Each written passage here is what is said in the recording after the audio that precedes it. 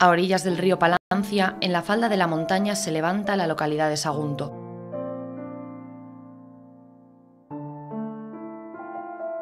Capital de la comarca del Camp de Morvedre, la ciudad tiene su origen en la antigua Roma.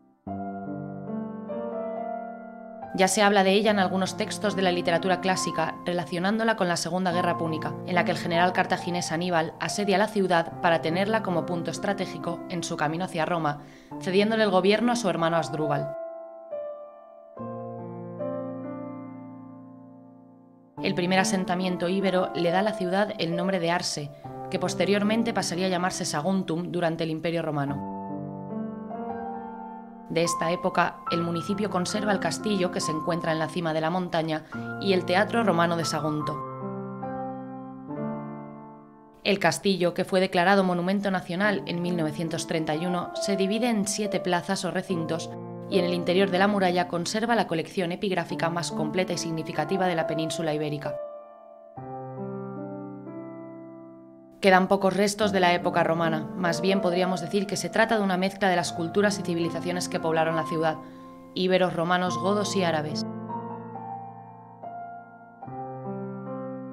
Durante la Guerra de Independencia en el siglo XIX fue utilizada por las tropas francesas como zona defensiva y de asentamiento. Cerca de la cara norte de sus murallas se encuentra el Teatro Romano, comenzada su construcción alrededor del año 50 después de Cristo, durante el gobierno del emperador Octavio Augusto, finaliza en el siglo III. Se utilizó durante la Edad Media como una parte defensiva del castillo, lo que posiblemente contribuyó a su parcial conservación. Al sufrir varias remodelaciones a lo largo de su historia, desconocemos el momento en el que el teatro fue abandonado. Es posible que las revueltas de las Germanías, en las que Sagunto se vio involucrada, dieran lugar al derrumbe definitivo de la escena. Hay muy pocos datos del teatro durante la Edad Moderna, pero lo que está claro es que se encontraba abandonado hasta que en 1896 fue declarado Monumento Nacional y comenzaron los estudios para proceder a su restauración. A finales del siglo XX se rehabilita y actualmente es conocido por las representaciones teatrales de Sagunta Escena que se realiza durante el verano. En el año 713 la ciudad es conquistada por los árabes, que le dan el nombre de Morbiter, que significa muros viejos, haciendo alusión a las murallas de la ciudad, nomenclatura que luego derivaría a Morvedre, dando nombre a la actual comarca.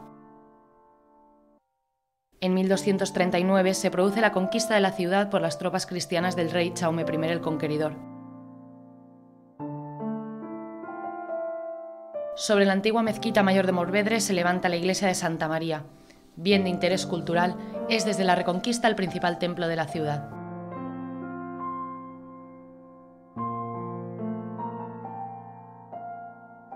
Comenzó a edificarse a mediados del siglo XIV y tiene una mezcla de estilos debido a la dilatación en el tiempo de su construcción.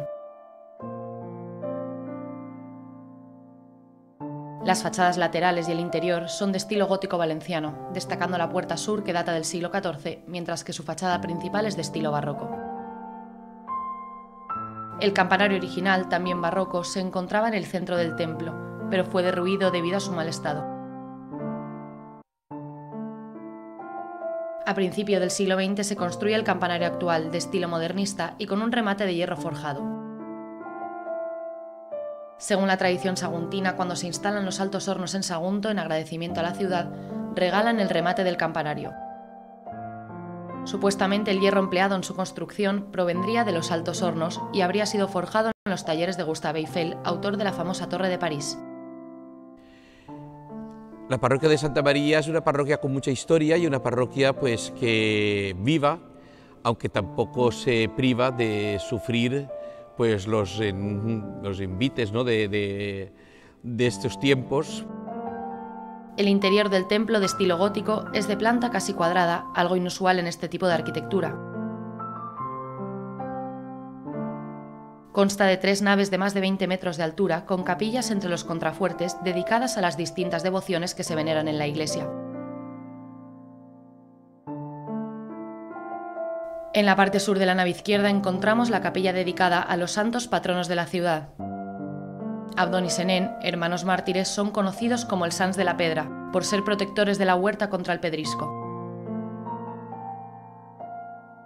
de los santos patronos, Abdón y Senén, los Sans, de la Pedra, los primeros protectores a favor de, los agricultores ¿no? y de, contra, contra el granizo y todos los daños que, afectan al campo, Abdón y Senén, que tenemos algunas reliquias por la existencia antiguamente aquí del convento franciscano y a través de un padre franciscano pues llegaron aquí eh, esos restos y desde entonces eh, antes pues ya se convierten en patronos y protectores de nuestro pueblo.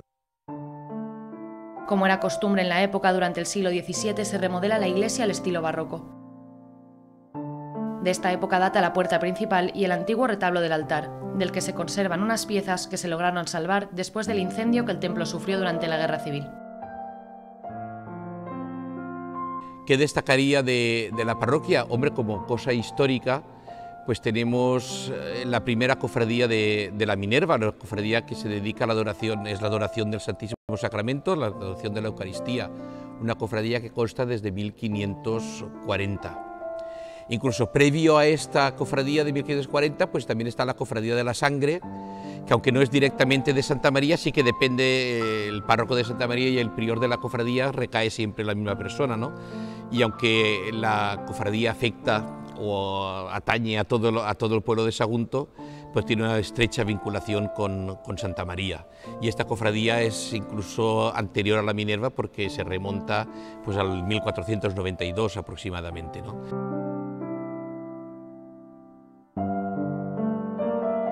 Y luego también tenemos la Virgen del Buen Suceso, una virgen que según la tradición pues aparece a través del mar, de las vírgenes encontradas, que por cierto este año se conmemora 400, 1622, conmemoramos los 400 años, si no me equivoco, de, lo que es la, imagen entre, entre nosotros, ¿no? de la entrega de, de la imagen.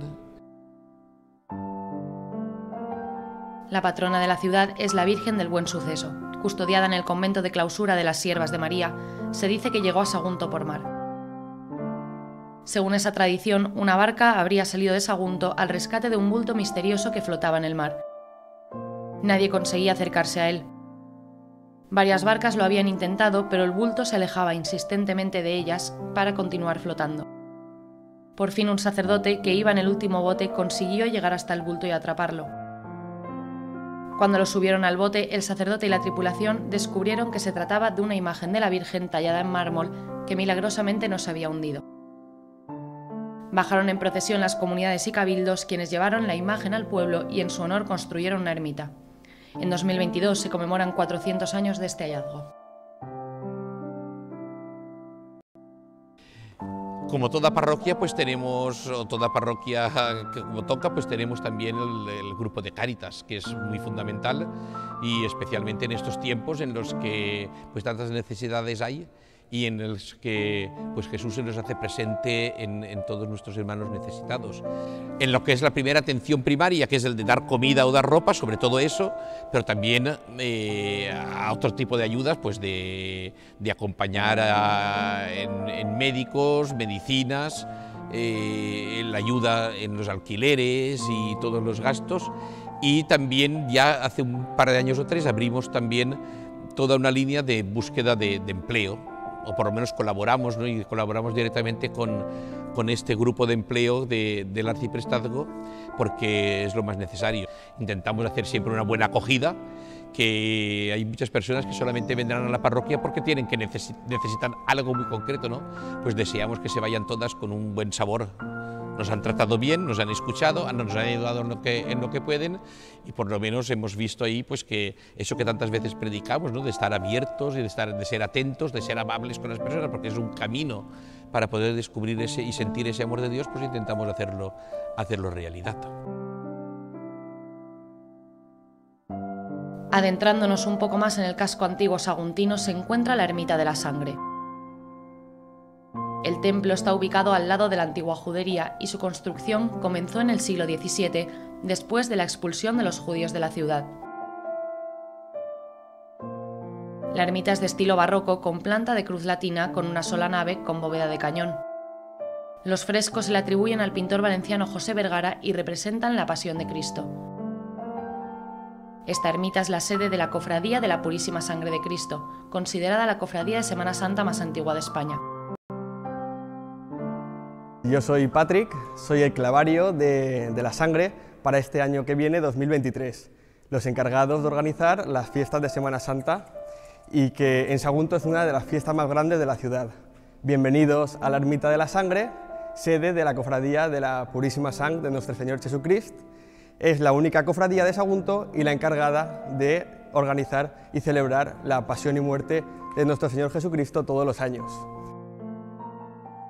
La cofradía de Sagunto, de la Purísima Sang, es de las más antiguas de España. No tenemos una fecha establecida de fundación, pero sí que podemos decir que data como mínimo del 1492 por la expulsión de los judíos de España.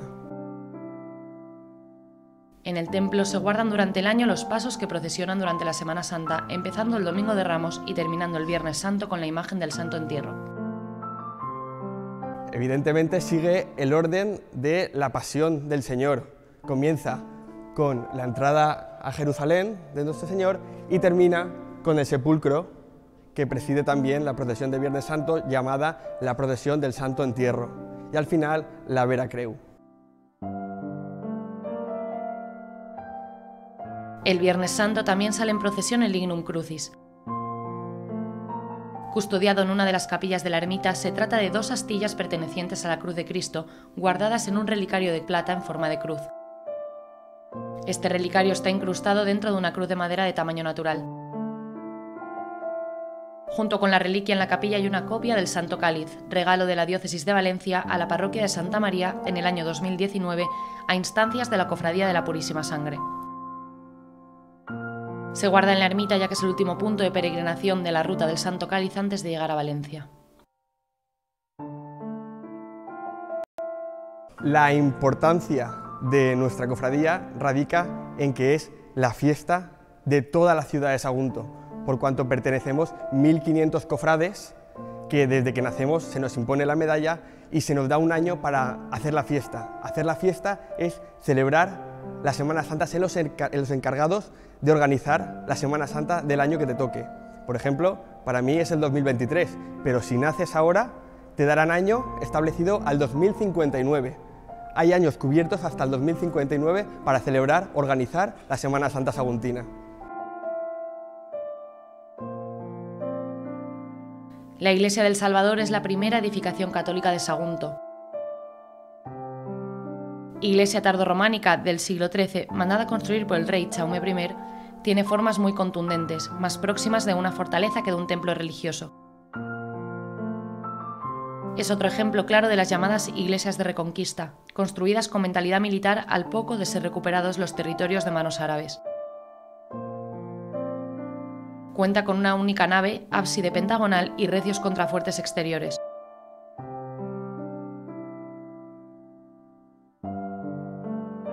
En la fachada destaca la portada con arco de medio punto y sobre esta un vano ligeramente apuntado y un ventanal gótico.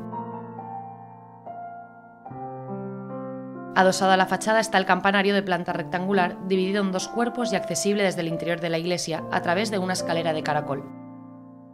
Junto al acceso destaca la pila bautismal. En el interior se pueden observar los arcos diafragma que dividen la nave en tres tramos y sobre los que se asienta el techo de madera, así como la bóveda de crucería del ábside.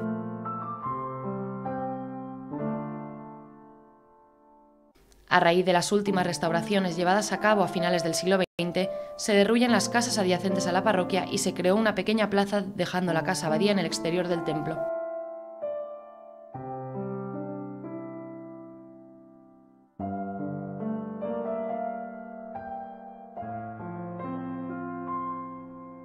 Finales del siglo XIX, el historiador saguntino Antonio Chabret dejó constancia de que en la portada podía verse un medallón con la imagen de San Juan bautizando a Jesús, hoy desaparecido.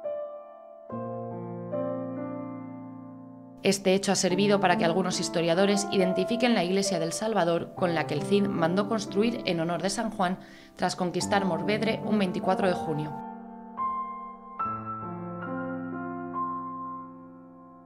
Este hecho y el hallazgo en excavaciones arqueológicas de dos muros laterales más antiguos alimenta esta hipótesis, según la cual Chaume I construyó la iglesia del Salvador sobre una iglesia anterior románica que había levantado el Cid en 1098.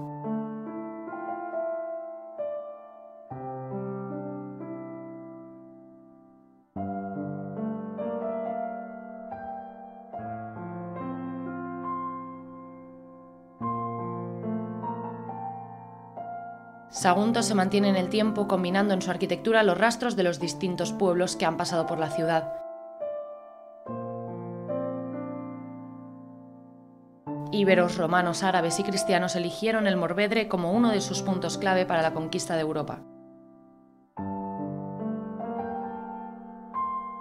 Desde la montaña, el castillo y el teatro romano coronan la ciudad, testigos inamovibles del paso del tiempo en la villa.